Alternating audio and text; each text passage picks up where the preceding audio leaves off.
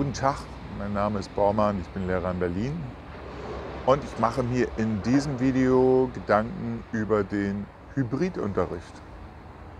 Sagen Sie, was ist das denn? Naja, Hybridunterricht ist der Unterricht, wenn der Lehrer ganz normal in der Schule unterrichtet und nebenbei zum Beispiel noch eine Telekonferenz läuft, sodass weitere Schülerinnen und Schüler von zu Hause aus teilnehmen können. Ja? Erstmal, die Idee ist ja nicht so blöd. Ist ja okay. Sie ist leider sehr aufwendig und wird äh, begleitet von einem Einsatz eines Heeres von Technikern, die das Zeug am Laufen halten müssen. Ich kann sagen, können das die Lehrkräfte nicht so nebenbei eben mal mitmachen? Hm. Es gibt einige, die probieren es, aber die kommen dann auch ganz schnell in Belastungszustände, wo sie merken, dass es ihnen nicht gut tut. Ja. Also die IT zu betreiben, dafür existieren in Großunternehmen ganze Abteilungen, die nichts anderes machen, wie dafür zu sorgen, dass die Computer alle einwandfrei laufen. Und äh, so kann man sich auch beim Hybridunterricht gut vorstellen, was da alles passieren kann. Ne? So zum Beispiel mangelhafte Leitungskapazitäten für Streaming, ruckelnde Bilder, ruckelnder Ton. Das äh, führt alles zu Stress, den man eigentlich im Unterricht nicht haben möchte. Okay, jetzt gehen wir mal davon aus, das funktioniert plötzlich alles ruckelfrei und gut und super, ja? So. Natürlich nicht auf Anhieb. Das heißt, ähm, eine ganze Menge von Schülerinnen und Schülern äh, sind dann bereits abgehängt in so einer Phase und kommen dann vielleicht doch lieber in die Schule, weil sie zum Beispiel selbst über eine schlechte Anbindung verfügen oder über keine entsprechenden Geräte, auf denen die Software läuft, die man dafür braucht. Äh, diese ganzen Einschränkungen gibt es. Ähm, okay, jetzt gehen wir mal davon aus, wir kriegen es alles ruckelfrei hin und zwei Drittel der Schülerinnen und Schüler findet das toll. Glauben Sie, dass Sie mal irgendwann wieder zu einem normalen Unterricht zurückkehren werden? Ich glaube, jetzt hat keiner gesagt, ja, selbstverständlich. Warum?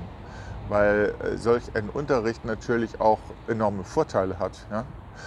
Weil die Schülerinnen und Schüler, die bereits intrinsisch motiviert sind, die selbstständig arbeiten können, die sich täglich hinsetzen und ihre Aufgaben machen, äh, die sparen sich den weiten Weg zur Schule, die sparen sich das Mobbing von Mitschülerinnen und Schülern. Kann ja sein, ne? Also ist ja gar nicht so selten, dass innerhalb der Klassen auch äh, Gruppenbildungen existieren, die manchmal gar nicht so angenehm sind. Und äh, für solche Kandidaten ist das häusliche Lernen ein Genuss. Ja? Und die werden das natürlich auch weiter einfordern. Und das mit allen Tricks, die zur Verfügung stehen. Was weiß ich. Ich habe Angst, mich zu infizieren zum Beispiel, könnte man sagen. Ne? Und äh, man weiß jetzt in Zukunft gar nicht mehr, ob die das überhaupt noch ernst meinen oder einfach nur angenehm von zu Hause arbeiten wollen. Muss man mit bedenken, was da jetzt auf uns zukommt. So, was folgt daraus für uns Lehrkräfte? Dass wir uns darauf einstellen müssen, dass ein Teil unseres Unterrichts in Zukunft durchgängig in Form von Telekonferenzen und Videos zu erbringen sein wird.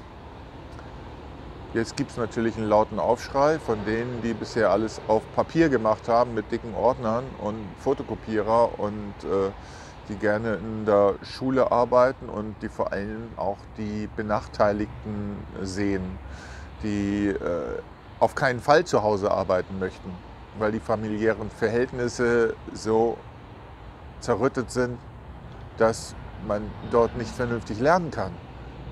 Ja? Es gibt viele sehr sozial engagierte Lehrkräfte, die eben genau diesen Schülerinnen und Schülern bevorzugt helfen möchten. Und die werden jetzt natürlich richtig ein Problem mit diesem Fernunterricht bekommen, der demnächst auf Dauer angelegt sein wird. Das ist meine Prognose, das ist meine Ansicht zu diesem Thema, weil man diese Entwicklung bereits beobachten kann.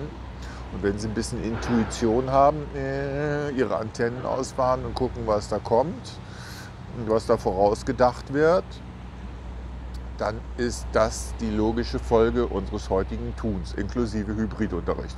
Wenn nämlich ein Hybridunterricht richtig schnuckelt und funktioniert, dann gibt es gar keinen Grund mehr, dass man nicht komplett auf Fernunterricht umstellt. Dann ist nämlich bereits das Material so aufbereitet, dass es auch für die Schülerinnen und Schüler verwendet werden kann, die zu Hause sitzen. Na? So, wo, wo gibt es die größten Probleme in diesem Fernunterricht und in dem Hybridunterricht? Denke mal, das sind tatsächlich die Leistungsbeurteilungen, weil wenn es jetzt keine Videokonferenz ist, wo ich die äh, Schülerinnen und Schüler sehe, sondern vielleicht nur eine Telekonferenz, in der wir sprechen, Discord oder sowas, könnte ja sein, dann äh, weiß ich doch gar nicht, äh, ob die gerade alle fleißig lauschen und mitmachen oder ob sie nur eingewählt sind und äh, was weiß ich, nebenbei äh, eine Runde weiter schlafen oder so. Ja, also eine Folge dieses Fernunterrichts scheint mir zu sein, dass wir wieder ein bisschen zurückkehren zur Form des Frontalunterrichts, weil was anderes ist das ja nicht, wenn da so ein Alleinunterhalter die ganze Zeit ins Mikrofon quatscht und dann mal fragt, wer ist denn noch da? Ja, habt ihr jetzt mitbekommen, was äh, zum Thema Satz des Pythagoras zum Beispiel erzählt wurde? Ihr sollt jetzt eine Übungsaufgabe machen. Das Übungsblatt findet ihr auf dem Webserver sowieso. Ne? Ladet euch das mal runter und dann füllt das mal aus und schickt mir das per E-Mail. So, was passiert? Schüler versteht es nicht. Mama lädt es runter ja, oder Papa oder Großpapa oder wer auch immer Zeit hat.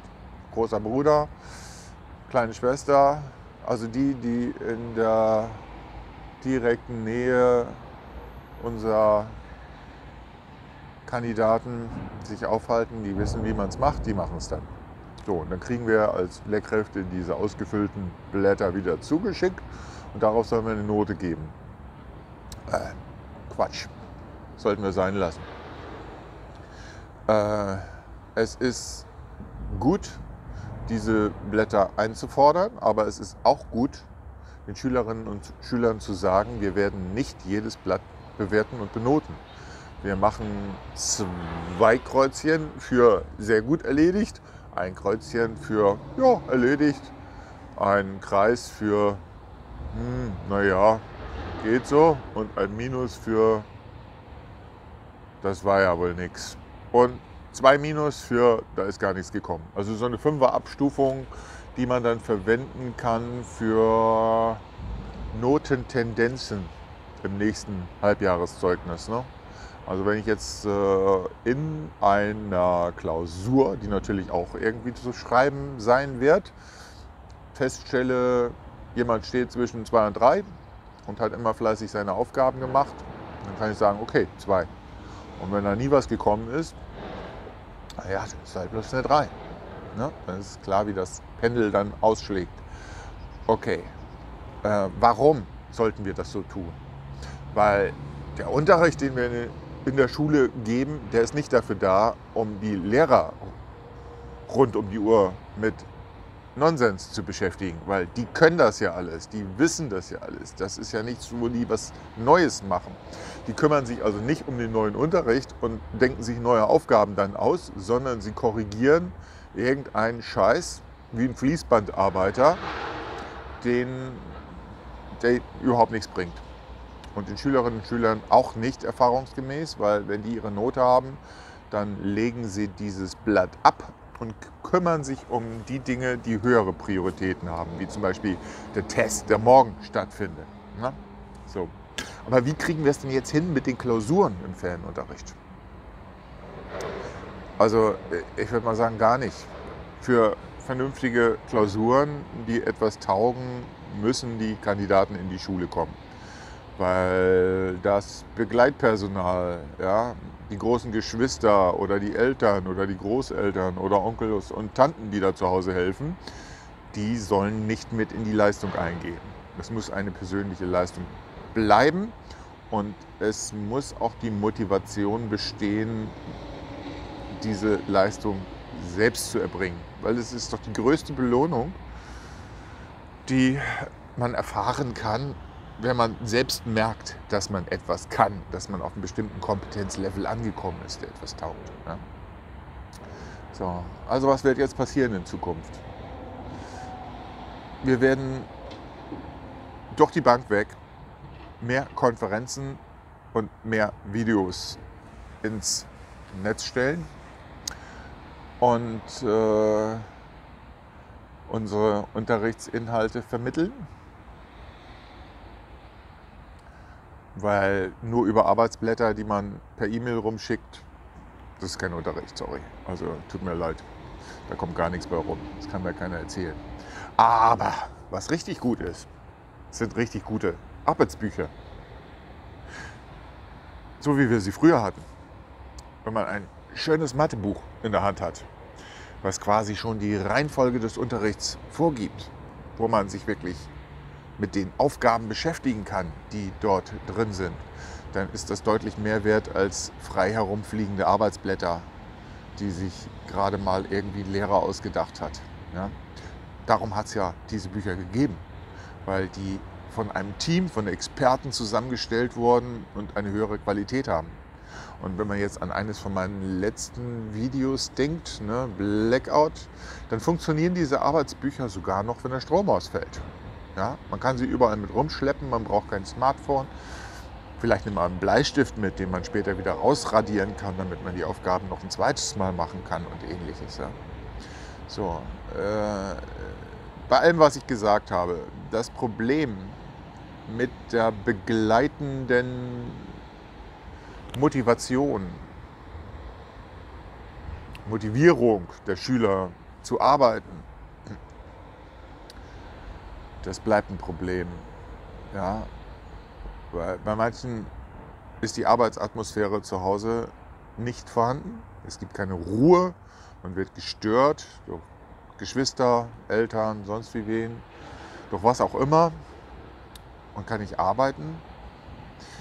Das wäre noch zu lösen. Wie macht man das? Ich denke, wir sollten in der Schule Arbeitsräume anbieten, in die die Schülerinnen und Schüler kommen können, die zu Hause nicht arbeiten können. Die dürfen dann in der Schule arbeiten. Und zu den Klausuren kommen sie dann natürlich auch in die Schule. Es ist tatsächlich dann natürlich eine deutlich geringere Virenlast in der Luft mit viel weniger Personen. Man kann irgendwelche Hygieneregeln in der Schule sehr gut umsetzen mit wenigen Personen. Und äh, so können wir dann auch dauerhaft arbeiten. Sagen Sie, warum dauerhaft? Nun ja, äh, das ist jetzt tatsächlich eine Einschätzungsfrage, wie man die Lage betrachtet. Ich habe sehr wenig Vertrauen in die aktuellen Maßnahmen, dass die zu irgendwas führen. Sie waren in der Vergangenheit nutzlos, sie werden in der Zukunft nutzlos sein, die Angst wird bleiben. Die Notwendigkeit für Schutzmaßnahmen wird daher auch bleiben. Daher werden wir weiterhin im Fernunterricht bleiben. Darauf haben wir uns einzustellen und wir müssen uns Gedanken machen, wie das in Zukunft funktioniert. Und Hybridunterricht wird einfach nur die Zwischenstufe sein zum permanenten Fernunterricht, der ergänzt wird durch Betreuung von benachteiligten Schülerinnen und Schülern in der Schule und durch Klausuren und andere Leistungsprüfungen in der Schule. Das ist, glaube ich, die Linie, die ich vorschlagen würde, wenn ich jetzt an verantwortlicher Stelle im Schulwesen sitzen würde. Okay, das waren meine Gedanken zur Schule und wie es damit weitergeht. Tschüss.